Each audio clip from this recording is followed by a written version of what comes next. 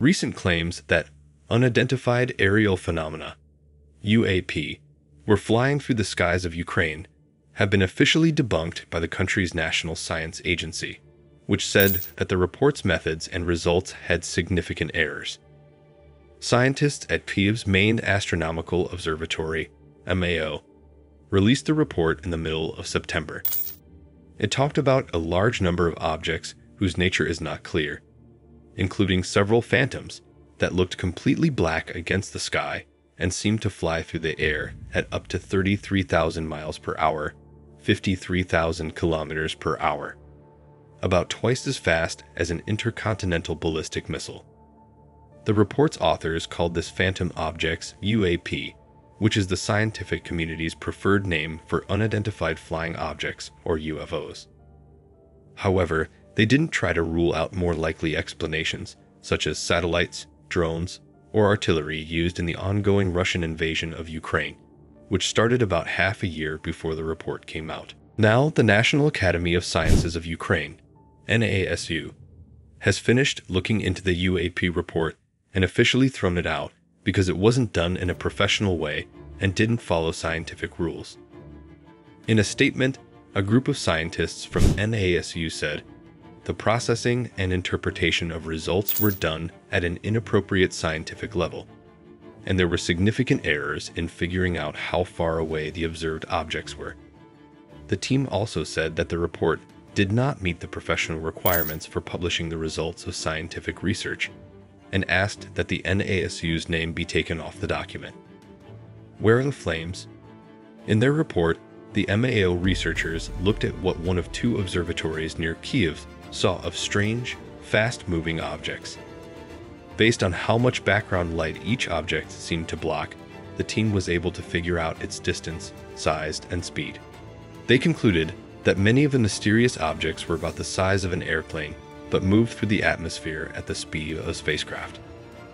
But by only looking at data from a single telescope, the researchers seem to have made wrong predictions about the distances and locations of these objects as well as their size and speed, according to work by Avi Loeb, an astrophysicist at Harvard University who recently published a critical paper on the Ukraine UAP report to the preprint database. The right way to figure out how far something is away is to look at the same thing from different angles. Loeb told Live Science. They don't have that information, though.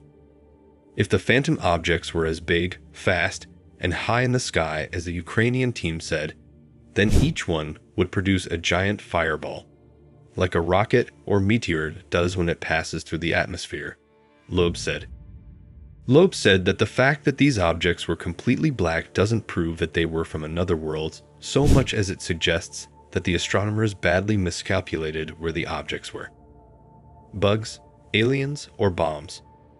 In his review of the UAP report, Loeb said that the Ukrainian researchers probably miscalculated the distances to the phantom objects by a factor of 10.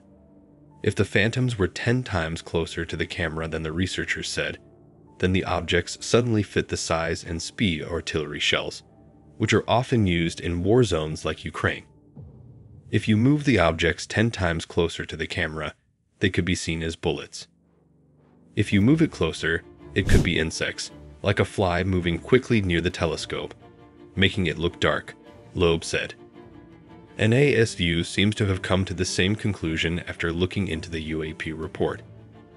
They said that the astronomers made significant errors in figuring out how far away the objects were, and didn't rule out more obvious explanations for the sightings.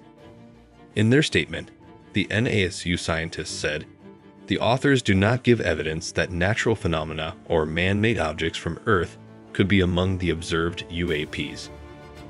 Even though it's not clear what the astronomers in Ukraine saw, it could have been artillery, bullets, bugs, or something else entirely. The effects of Russia's invasion of the country should not be overlooked. According to a report from the U.S. Office of the Director of National Intelligence, ODNI, in 2021 it's likely that at least some UAP seen by American military personnel are technologies deployed by China, Russia, another nation, or a non governmental entity.